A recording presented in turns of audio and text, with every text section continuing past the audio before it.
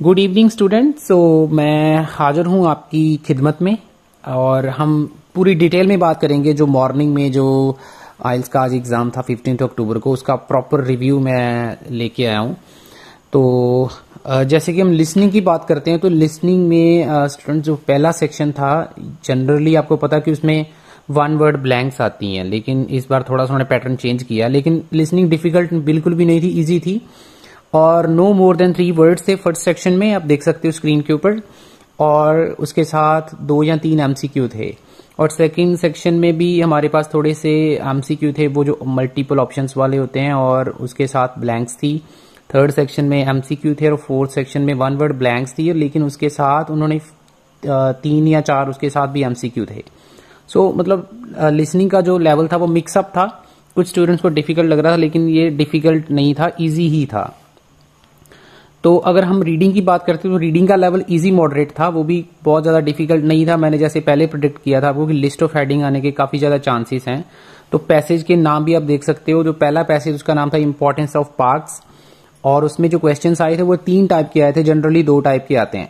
तो list of heading थे उसके साथ ट्रू नॉट गिवन थे और राइटर्स के ओपिनियन थे। और जो सेकंड पैसेज था उसमें आ, उसको उस उसमें आपको जो पैसेज का नाम था उसका था कोरल रीफ ये भी, ये जो पैसेज आया है फ्रेंड्स ये हमने क्लास में किया हुआ प्रैक्टिस आपको स्क्रीन पे भी दिख रहा होगा, और इसी में से ये क्वेश्चन सारे आए हैं। तो उसमें भी तीन टाइप के क्वेश्चन थे, वैसे दो टाइप के थे, एक ही एमसीक्यू था लास्ट में, एक या दो थे। So which paragraph contains following information वाले क्वेश्चन थे, उसके साथ कुछ ट्रू फॉल्ट थे, और एक या दो एमसीक्यू थे। और जो तीसरे वाला पैसेज है how to clean the beach तो how to clean the beach में से भी जो जो पैसे था, उसमें से तीन टाइप के क्वेश्चन आपको स्क्रीन पे दिख रहे होंगे। येस नो नॉट गिवन थे एमसीक्यू थे और उसके साथ कुछ ब्लैंक्स थी। ब्लैंक्स काफ़ी ज़्यादा ट्रिकी थी। और ये हमारा रीडिंग का पैटर्न था सारा जो आज स्टूडेंट्स ने एक्सपीरियंस किया, उनके एक्सपीरियंस से उन्होंने जो बताया। तो रीडिंग और लिसनिंग के आंसर जो हैं, वो मैं पोस्ट नहीं कर रहा हूँ, क्योंकि वो ज़्यादातर स्टूडेंट्स गलत होते हैं। कोई कोई भी स्टूडेंट अपने हिसाब से आंसर जो है जिन जो, उनको लगता है उसके हिसाब से वो लिख देते हैं और वही ज़्यादातर जो है आपको देखने को मिलता है लेकिन वो आंसर ज़्यादातर गलत होते हैं। तो जो भी आपने आंसर्स लिखा आप उसके ऊपर ट्रस्ट रखिए और वो आपका आंसर सही ही होगा। आप मतलब पैनिक हो जाते हो यूट्यूब के ऊपर आंसर्स देख के। तो देखिए जो सेकंड पैसेज आया वो मैंने आपको पहले जैसे कि देख सकते हो कि वो ज़्यादातर पैसेज काफ़ी सारे रिपीट हो रहे हैं। तो अगर आपको भी ऐसा मटेरियल चाहिए तो आप चैनल को सब्सक्राइब कर लो और आपको जो भी मटेरियल चाहिए, आपको रीडिंग का पीडीएफ चाहिए या आपको राइटिंग में थोड़ी बहुत हेल्प चाहिए तो आप मेरे को कांटेक्ट कर सकते हो। व्हाट्सएप का नंबर आपको दिख रहा है डिस्क्रिप्शन में। और डेली आपको लिसनिंग भी मिल रही है फ्रेंड्स लिसनिंग की नई नई वीडियोस आपको मतलब मॉर्निंग में एट ओ और नाइन ओ के बीच में आपको नई लिसनिंग मिल जाती है। और राइटिंग का भी मिल जाता है। रीडिंग के लाइव सेशन चलते हैं। आप क्लासेस देख सकते हो ऑनलाइन यूट्यूब पे आके तो चैनल को सब्सक्राइब कर लीजिए। और अगर हम बात करते हैं राइटिंग की तो राइटिंग देखिए, आजकल थोड़ा सा इन्होंने ट्रेंड चेंज कर दिया है। राइटिंग में दो मतलब कुछ जगह पे क्वेश्चन अलग आता है और कुछ जगह पे क्वेश्चन अलग आता है। अगर हम राइटिंग टास्क वन की बात करें तो पाई चार्ट आया था।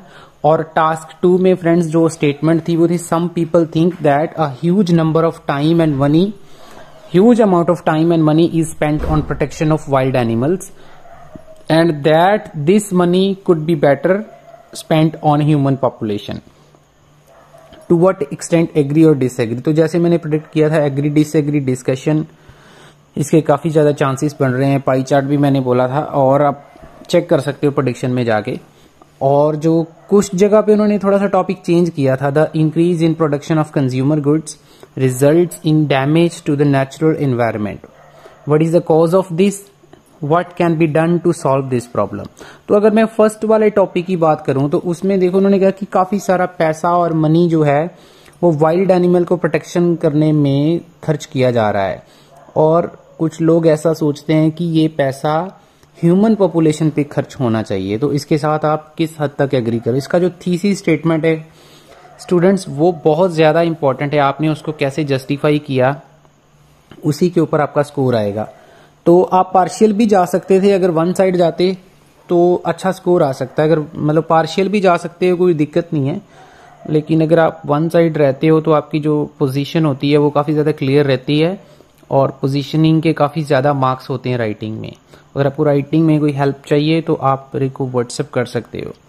तो दूसरे वाला जो टॉपिक था वो भी यही था कि आ, उसमें रीजंस उन्होंने पूछे थे कि जो consumer goods consumer goods friends होती हैं जो हम डेली यूज़ करते हैं जो डेली हमारी लाइफ में यूज़ होती हैं जैसे हम ईटेबल्स हैं या कोई खाने वाली पहनने वाली चीज़ें हैं।